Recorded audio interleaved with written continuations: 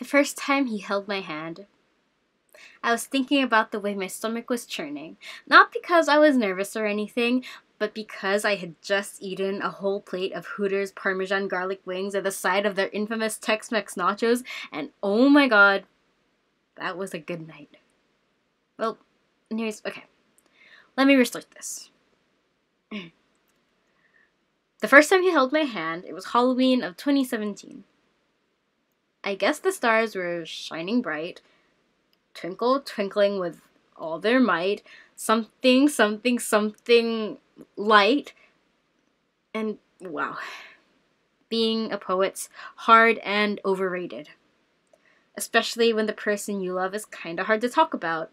Because the only language you speak does not do even any ounce of justice, does not have enough words to describe out loud just how beautiful that person really is so forgive me if you can't picture the face of the man I fell in love with on October 31st, 2017.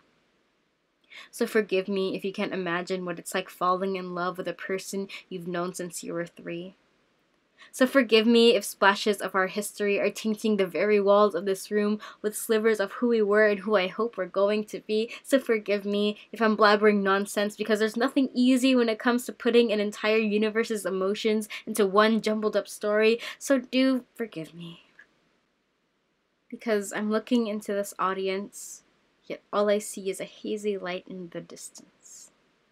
A hazy light that looks a lot like those stars from that night reminding me that there are much more meaningful things in this world than just garlic wings and angsty poetry. As if my whole world wasn't already enraptured by the love he's given me, whispering soft giggles under the safety of what they call a frightful day, and exchanging sweet candy to hear even a fragment of flirty gestures I wouldn't even want all of you to see. Because of everything good I've been given in this life, he's the best thing that's ever happened to me. And that's being pretty lenient, considering things like garlic parmesan wings from Hooters exist. But God, let me be selfish just once in my life. Allow me to prove that I can make even the scariest day of the year Valentine's Day 2.0. Allow me to prove that a high school romance stretches longer than the gummy worms I found at the bottom of my bag that night.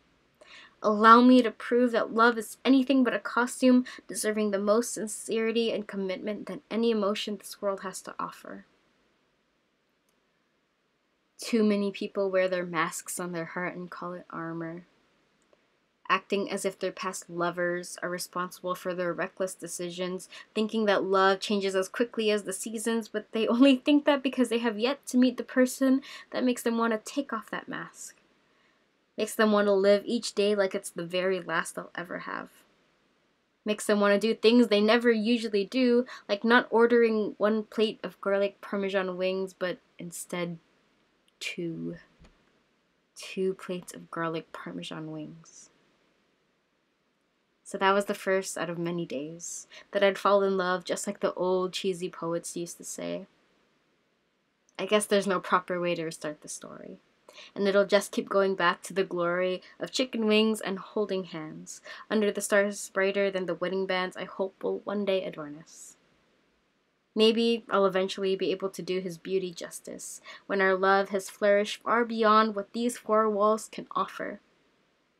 Years after the first time he held my hand.